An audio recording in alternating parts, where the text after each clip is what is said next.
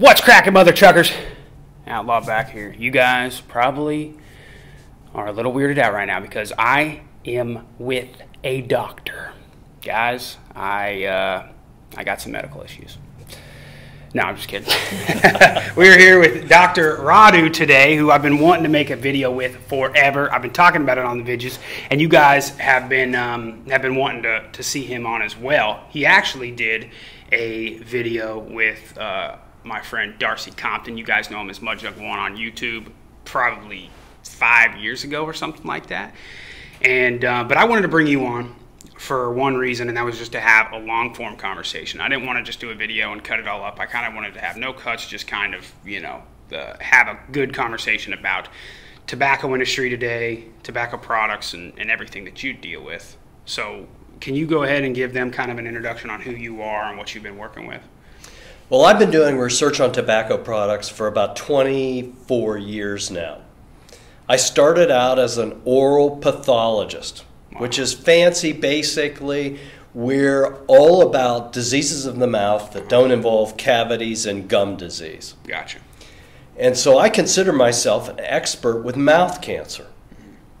And it turns out I was teaching my students, and I had been taught that smokeless tobacco was a death sentence for mouth cancer. Right. So after 15 years or so, I'm starting to think, you know what? I'm not seeing chewers and dippers down in Birmingham, Alabama, where I was in practice at University of Alabama at Birmingham. Right. I'm not seeing chewers and dippers come in with mouth cancer. So I started to question how I'd been taught that and why I was teaching that, and it turns out that I had it all wrong. In fact, we had been Americans have been totally misinformed about chewing and dipping and mouth cancer. Right it turns out the risks are low to non existent right. for chewers and dippers.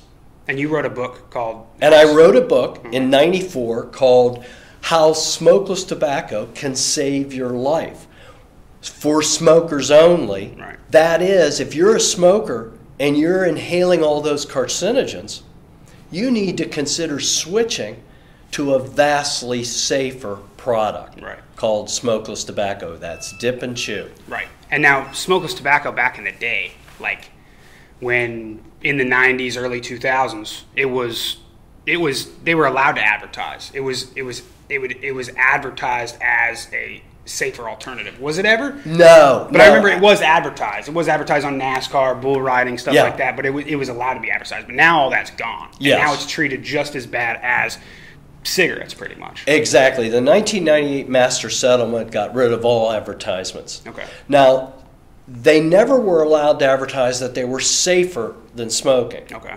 In fact, the FDA warning on every fourth tobacco product, and, chewer and chewers and dippers know this, mm-hmm. is that this product is not a safe alternative. Right.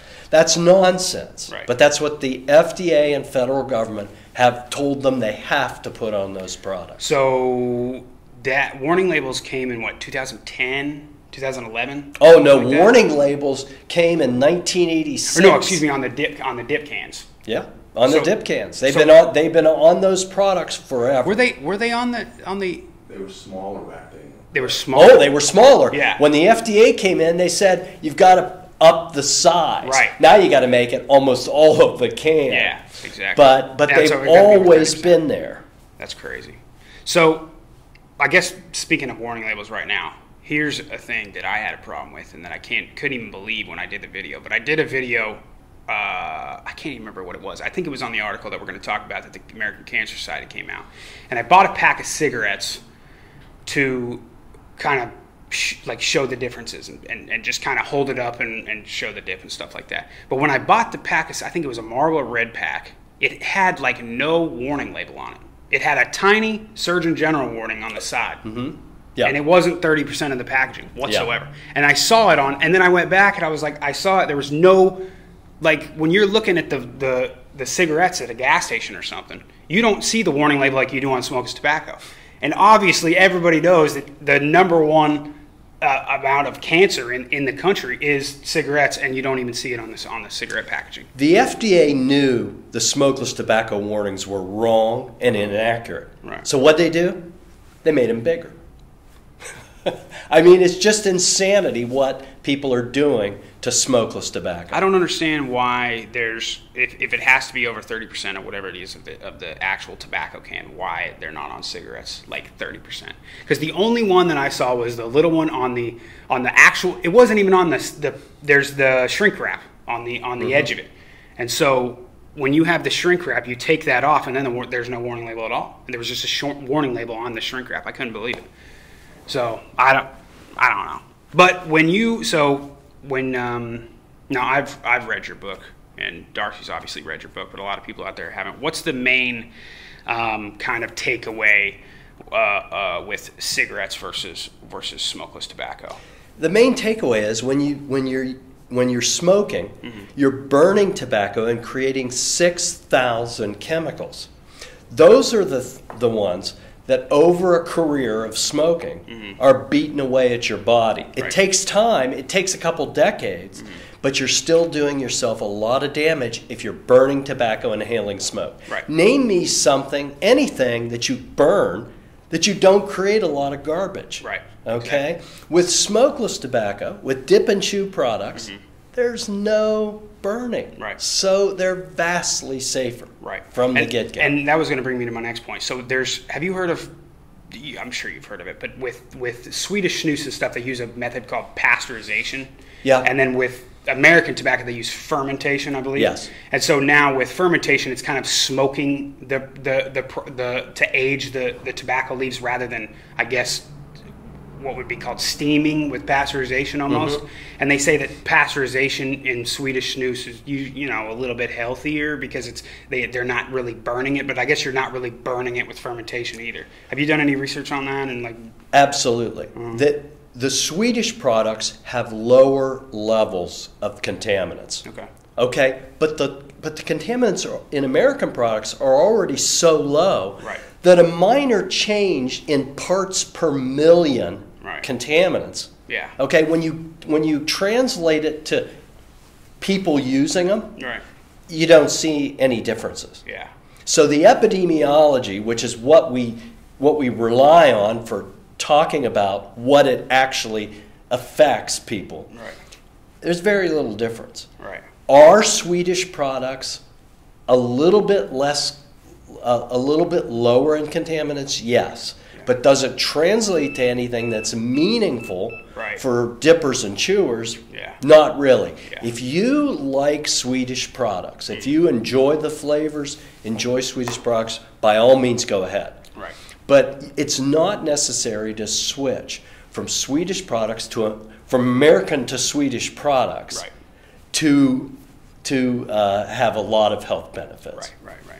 Now, with uh, we were talking about this earlier whenever I showed up, but the video that I made was a a article or a list that the American Cancer Society released. I think it was earlier this year, March or something like that. They released it and they gave a list of 17 of the most harmless or the. the uh, of the what what is not the most harmless Most uh, harmful. the most harmful uh, products, or not even products, because obesity was on there and stuff Mm-hmm. like that. But smokeless tobacco was not on that list what- whatsoever, and cigarettes was on, on top.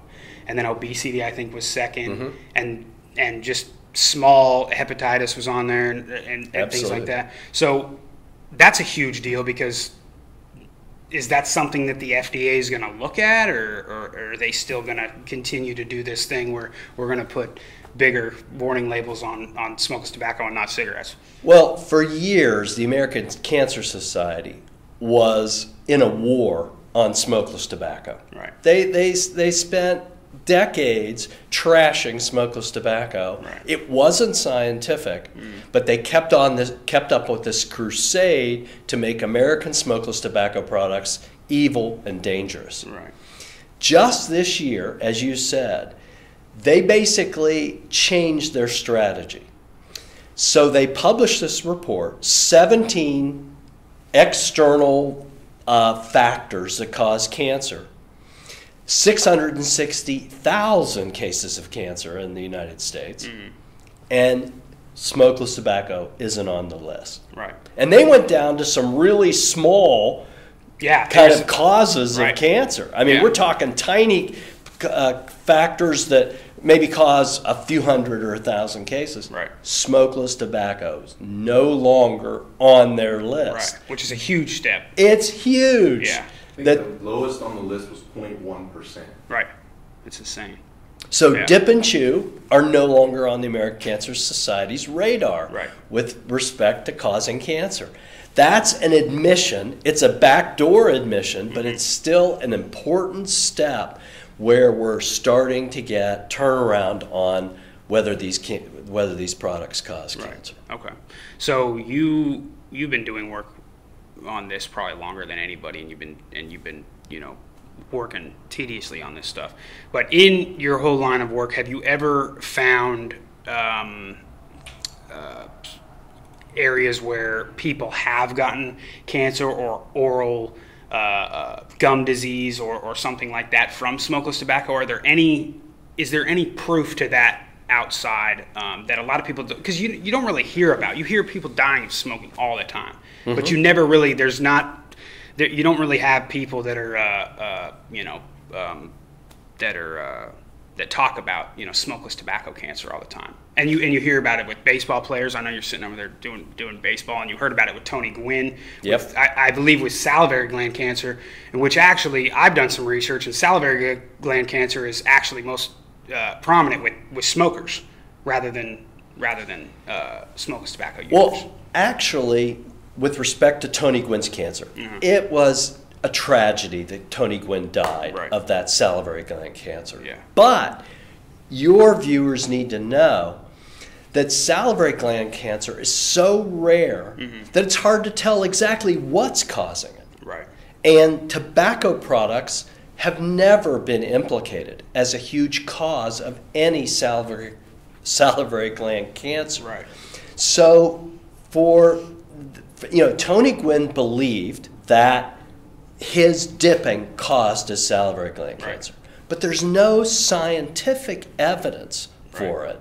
Yeah. And then his family decided to aggressively sue the makers of dip products. Right. They settled. It's Yeah. all gone. It's history now. Mm-hmm. But there was never any scientific credibility for for blaming dip and chew products. It's probably a really hard thing to even find out what you know. oh, what- absolutely. Yeah. I mean, sometimes only the big guy knows. Yeah, right. And so, uh, and so when you when you talk about, uh, um, you know, it's it's hard to kind of find it. You don't really know where you know the cancer's coming from, stuff like that. When and then you start talking about. Uh, products that are, are even safer and other stuff. Obviously with, with cigarettes you you know people are doing the Juul now and people are, are, are switching to vaping and stuff like that. And i've been doing some some vape videos recently and people are it's just insane. It's taken over everything. Mm-hmm. Now have you been doing any studies on on vaporizing and like is it you know because a lot of people are like oh well you know you're getting water vapor in your lungs and and all this kind of stuff. And you know it's this is stuff that everybody always talks about. Like, oh, by the way, we should talk about this really quick. Is there fiberglass in dip? Because everybody was always talking about fiberglass in dip. It has to cut your lip to get your bloodstream. I can t- tell you unequivocally Uh-huh. that there is no fiberglass added to dip products. Okay, good. Period. Okay? I There is no question that there is nothing like that. Now, tobacco leaves, okay, just like any other natural product, Mm-hmm. okay, and we've certainly been uh, talking about lettuce recently, Yeah, oh, right? yeah, that old okay, they have every every natural food product Mm-hmm. has contaminants in it. Right. Okay, spinach has micro uh, levels of of sand or other products. Every product does. Okay, but they don't need dip and chew products. Don't need to have fiberglass so that you can enjoy the effects of nicotine. Right. That's just a an urban myth mm-hmm. for which there is zero evidence. Right. And now, and speaking of nicotine, before I get into the vapor stuff, which I do want to get into, but nicotine, a lot of people are think that when you're talking about nicotine and oh, there's nicotine in tobacco, that's the addicting thing, obviously. But is nicotine bad for you? Is nicotine something that is going to make you sick? is nicotine something that you need to worry about and you need to think about not quitting because or uh, quitting because I've had some doctors tell me that they prescri- they'll prescribe people on nicotine gum for the rest of their life. Mm-hmm. It's it's just not something that uh, you know. It's just like well, at least as long as they're not having the, the tobacco or whatever that's you know and, and smoking it and all the carcinogens and everything that come with that, they're fine. Nicotine gum forever, that's fine. Do you agree with that? And You know, this is one of the first things I asked myself when I started doing research on these products 24 years ago. What's going on with nicotine? right, And the answer I got then, that's still valid now, is that, you know, nicotine is not a health food, right, but nicotine is about as dangerous as caffeine. right, And, you know, I enjoy coffee. Mm-hmm. I live for coffee. yeah, I roast my own beans. Mm-hmm. I really enjoy coffee. right, But I know that caffeine is not a dangerous drug. right, Okay? And so, what dippers and chewers need to know too mm-hmm. is that nicotine is no more dangerous than caffeine. gotcha. It's a relatively safe drug to use from a consumer standpoint. right, You can enjoy nicotine. right, And in fact, many Americans, millions of Americans, consume nicotine just as safely as they consume caffeine if they don't burn tobacco Right. first and inhale the smoke. That's the key here. What's that your- people don't realize? right. What's your opinion on? We were talking about this the other day about I I found an ad. Uh, I don't even remember. It was a it was a cigarette company a long, long time ago. But it was an ad of a girl who was sick, sitting on a doctor's table, and the doctor is giving a thumbs up while she's smoking a cigarette, trying to make herself feel better. From way back in the day, where they're prescribing cigarettes and and stuff like this. What's your opinion on that? And was it just like no studies were done, and it was like I just I just don't get because I remember you see it in movies and stuff, and they're just like you know everybody I mean, back in the seventies and stuff, everybody smoked, but like what what was it where they were prescribing cigarettes and like I just I don't get it. Well, I don't get it either. Mm. Because back in the 1960s, my grandfather smoked. Mm-hmm. And my great grandfather, who was a smokeless tobacco user for his entire 98 years mm-hmm. on this planet, told my grandfather in the 1960s, Worthy, don't use those cancer sticks. Right. So everybody who was had a brain knew that smoking wasn't good Right. way back. Mm-hmm. Okay? But this whole concept that all tobacco products are equally dangerous and equally evil Right. is a more recent concept. Yeah. And it is flat out wrong. Now- now, now tobacco's not, you know, tobacco's not a health food Right.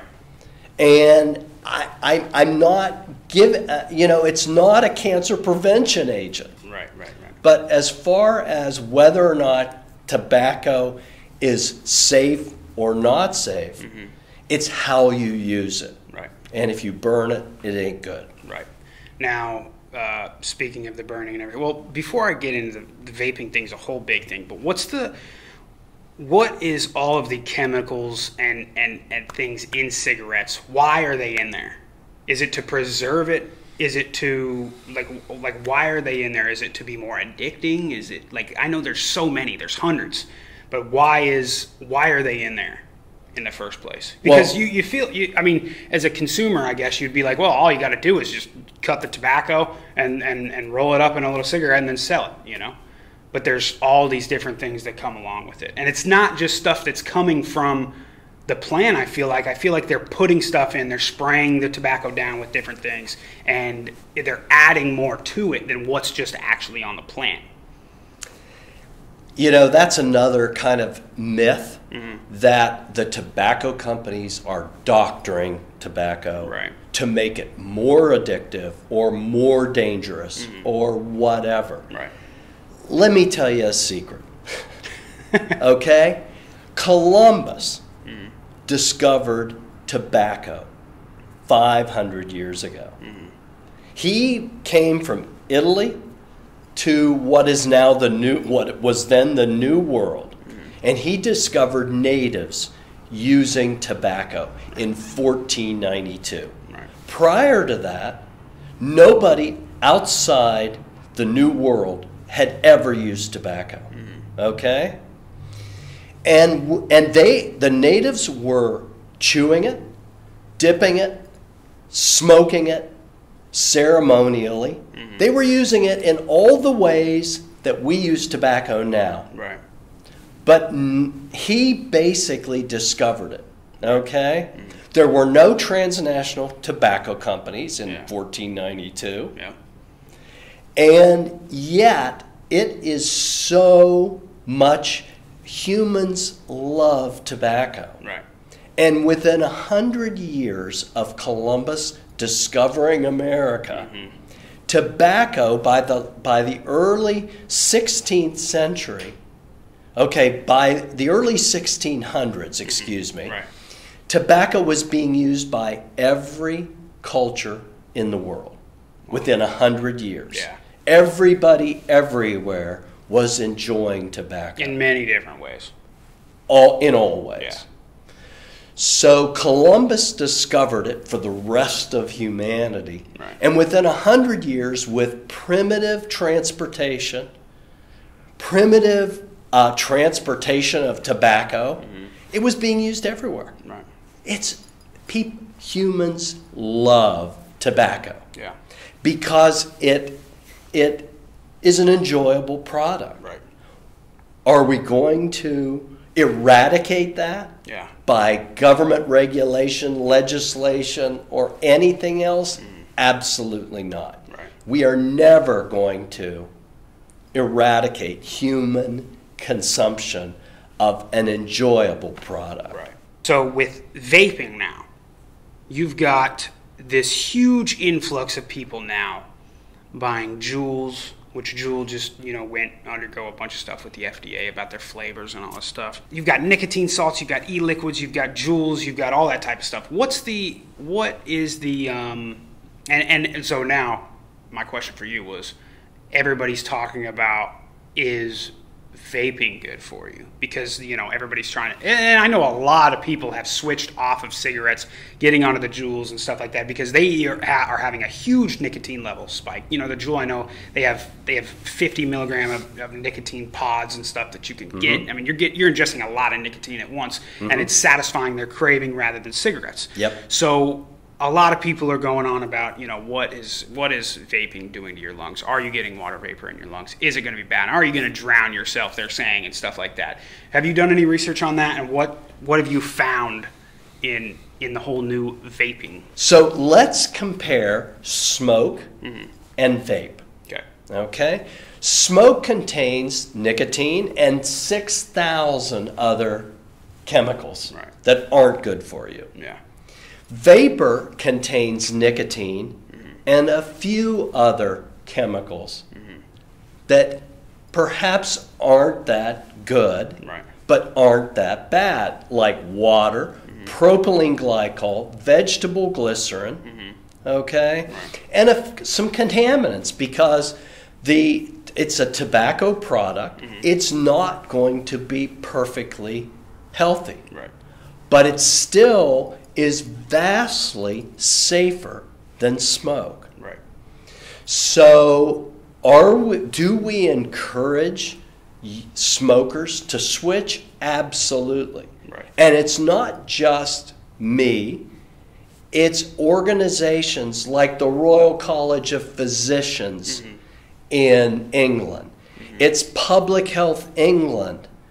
Uh, it's a lot of organizations mm-hmm. That are encouraging smokers to quit, and if they can't quit, to switch Right. to vastly safer alternatives. right now what do you what's your opinion on what the fda just did to Juul now about the flavor ban i guess you can say about not selling it in stores anymore but having to move it there to their website but they're allowed to sell the mint the menthol the the tobacco flavor stuff like that but they don't want to uh, you know uh, spread their attention to minors, so they got to take their all their you know flavorful creme brulees and stuff like that out of their stores. What's your and I and you gave me a good point when we were in your office earlier on on you know smokeless tobacco flavors and stuff like that.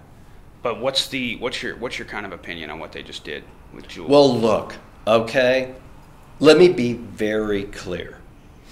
No one wants underage kids to use any tobacco product or use any other drug that they shouldn't be using. right, Period. Nobody wants kids to use these products. right, But the only reason that kids are using a tobacco product is because it has a good flavor? Mm-hmm. I think not. yeah, This is nonsense. Right. Okay?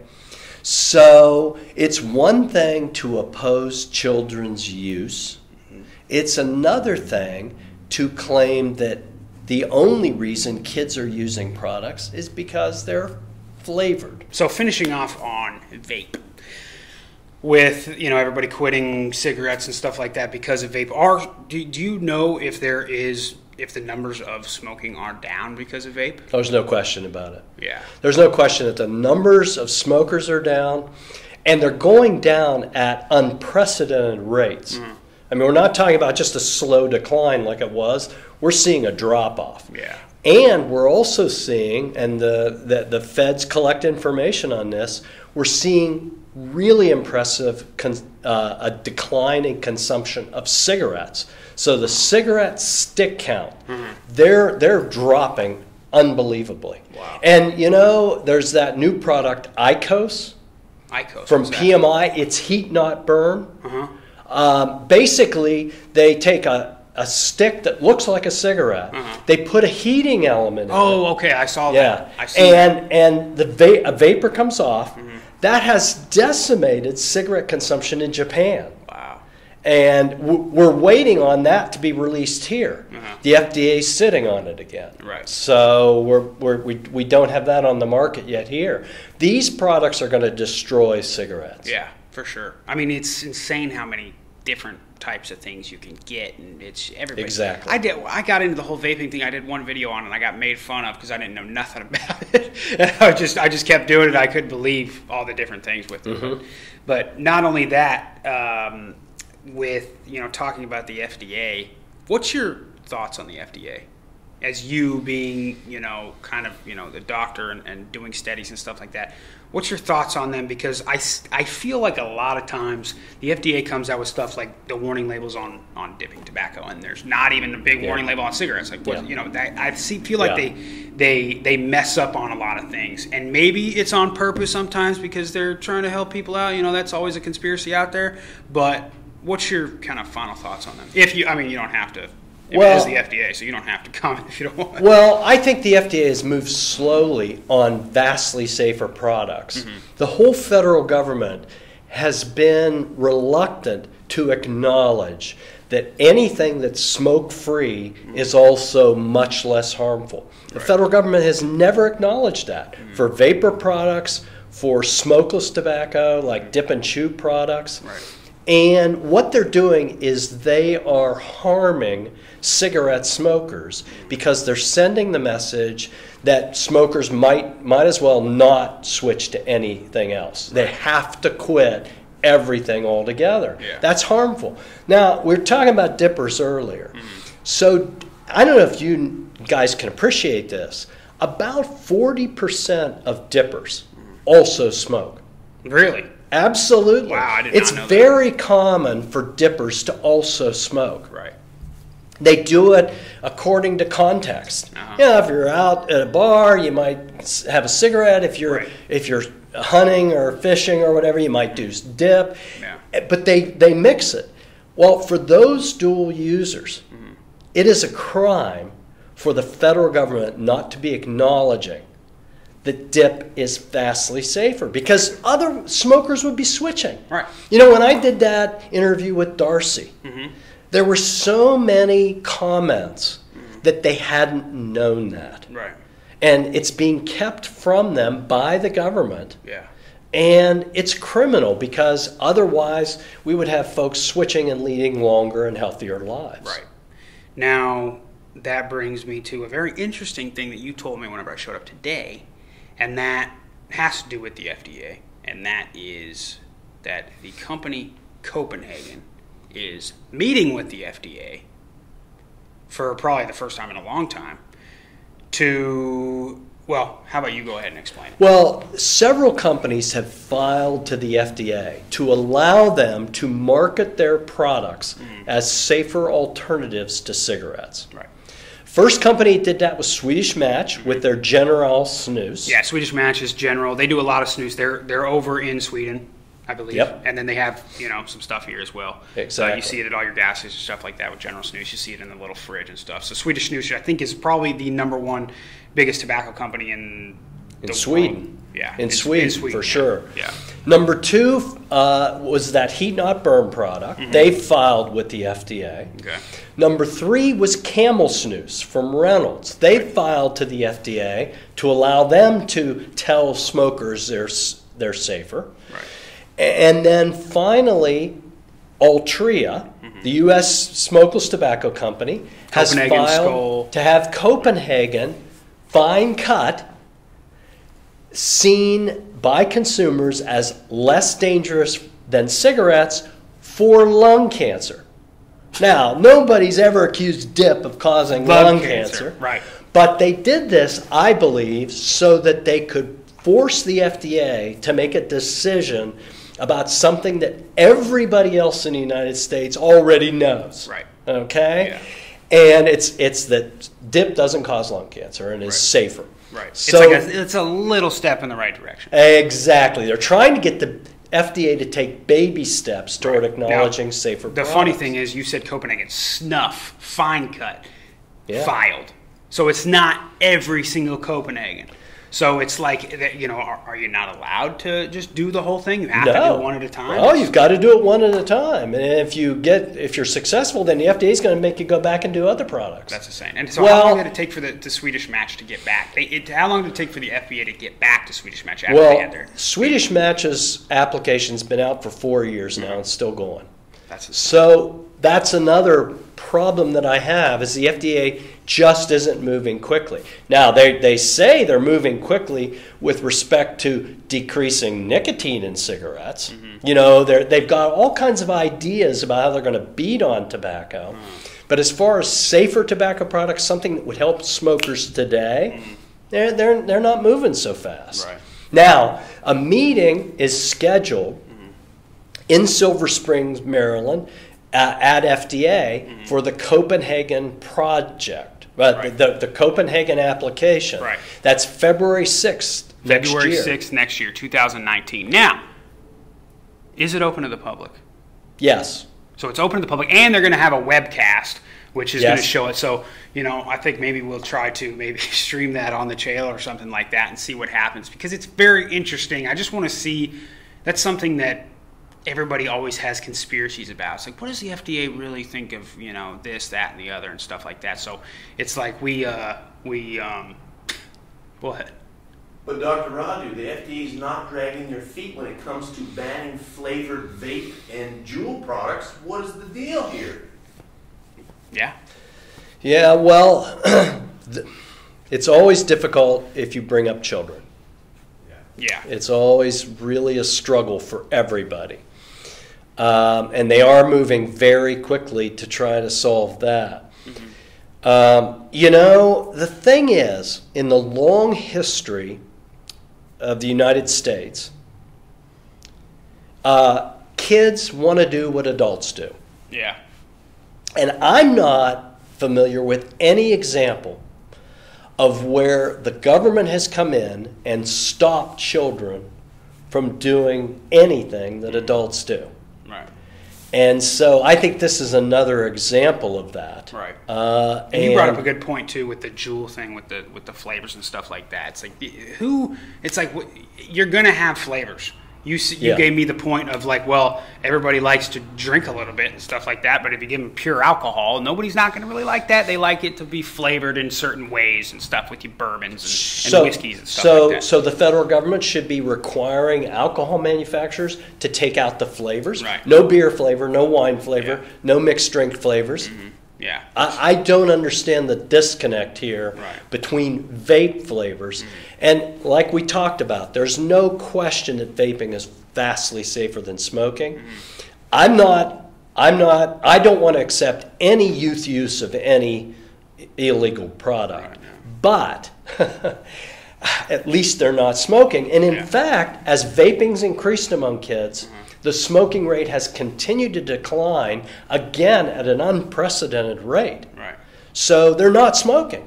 Yeah. And um, I, I think I, I think we have to uh, look at the bright side as Right. well. Yeah, for sure.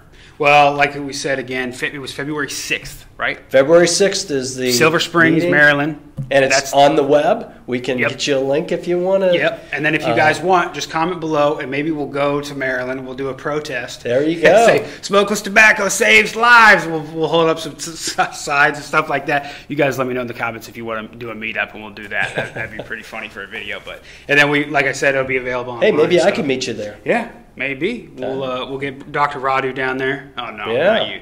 I have a question. Oh, okay. What? Can I ask? yeah, sure. So, Dr. Rodu, as, as Outlaw mentioned, you have, and I have done some videos in the past regarding this subject. And a lot of people I've noticed commented on some of those videos that you are one doctor. What about the rest of the doctors? Where's their opinion on this subject? Why do they all say that smokeless tobacco products are so harmful, but yet here you are saying that, hey, they're really not? Well, I said it first 24 years ago, but now there's a growing consensus that if you don't burn a tobacco product, you can use it in a fairly safe manner. So there is a growing consensus among health authorities and among health professionals that we need to apply harm reduction, that is, safer products, and get smokers to switch to them. It's growing. Yeah, And I've uh, seen that too online. I've seen that. What's the? Do you know numbers of, of amount of people that smoke in the U.S. and then even smokeless tobacco? just well? shy of 40 million, 40 uh, million smokers still. Yeah, and that's the only and that's only the number that admit that they're smoking. Right. You know, the federal surveys have gotten to the point where people are reluctant to tell the truth, Mm-hmm. and so we see people underreporting smoking numbers. Mm-hmm. Right. But there's still slightly fewer than uh, 40 million, and we still have close to a half million deaths every year. Right. So Yeah. this problem ain't solved. Yeah, man. for We- sure. We've got what about smokeless tobacco? You know, you know those numbers on how many people? You know, somewhere, depending on the survey, somewhere around five to ten million Gotcha. probably use Yeah, so smokeless.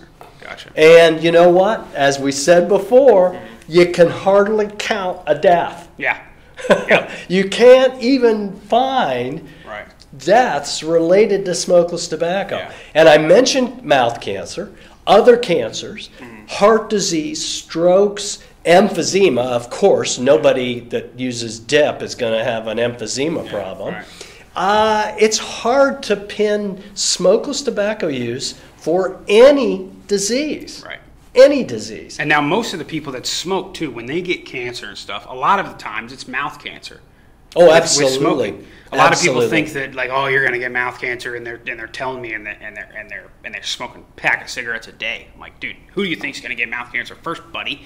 So, yeah, it's it's it's Oh, crazy. in But- my practice, I that's mainly all I saw Mm-hmm. were smoking related mouth and throat cancers. No question about that. what's the is it is, is lung cancer the the number one with with smoking? yes. Yeah. Yes. But Number remember, one. dip doesn't cause lung cancer.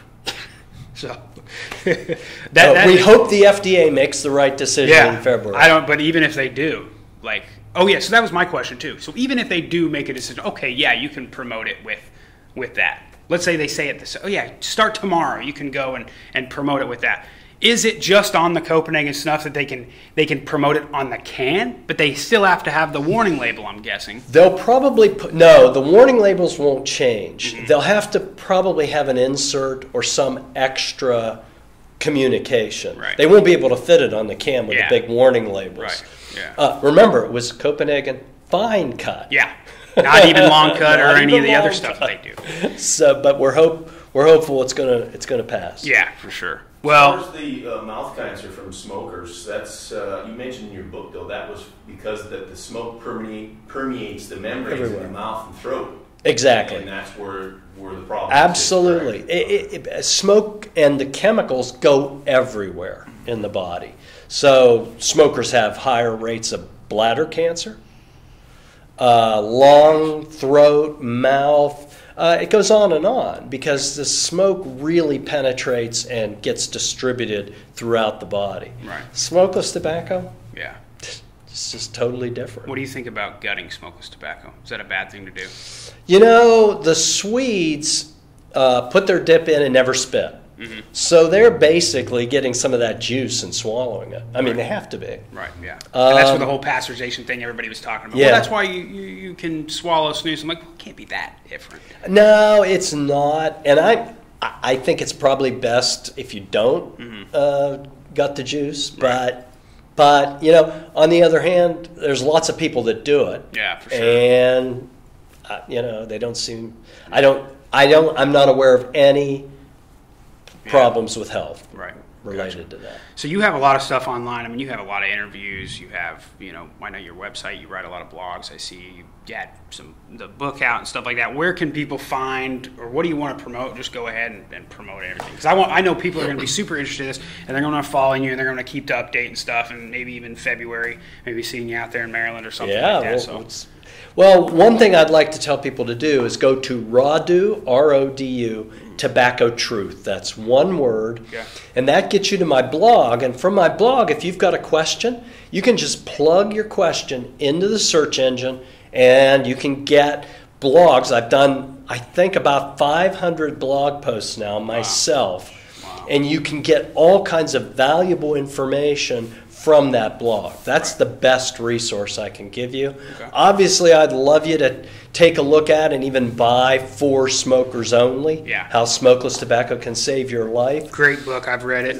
Darcy's read it. Still for sale on Amazon. Nice. They're they're still selling it. They basically print to order now. Oh, okay, cool. Uh, the new version, which also includes a chapter on e-cigarettes, um, you know, any chapter on e-cigarettes is automatically out of date because Right. things move so fast. Yeah, right. But still, you can get the basic background from for smokers only. You can show your relatives or friends that think you're crazy. Yeah. You can show them and uh, get uh, start the education process.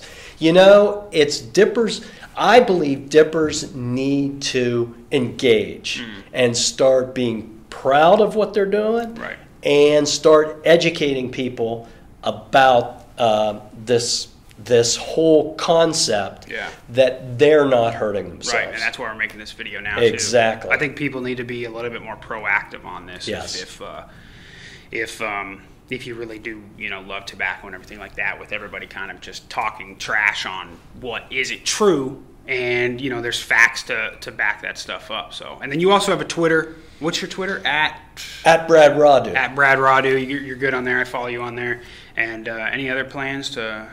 to do No, we're just going to keep taking this uh, Yeah. out there and trying to get it circulated. Yeah. We're, our goal is to help smokers have some other options besides quitting altogether, which Right. doesn't work for hardly anybody. Yeah. Well, go to outlawdip.com. There you go. Well, I appreciate it, Doctor. Oh, that was, it a great. it was I a think pleasure. I think a lot of people learned a lot. I definitely learned a lot today. So, and then maybe uh, when Maryland comes around, when the whole thing, maybe we can do Yeah. another one. Absolutely. So, appreciate it, guys. Thanks for watching. Leave a comment below if you guys got any questions too, and uh, we'll try to get to them. Thanks, y'all.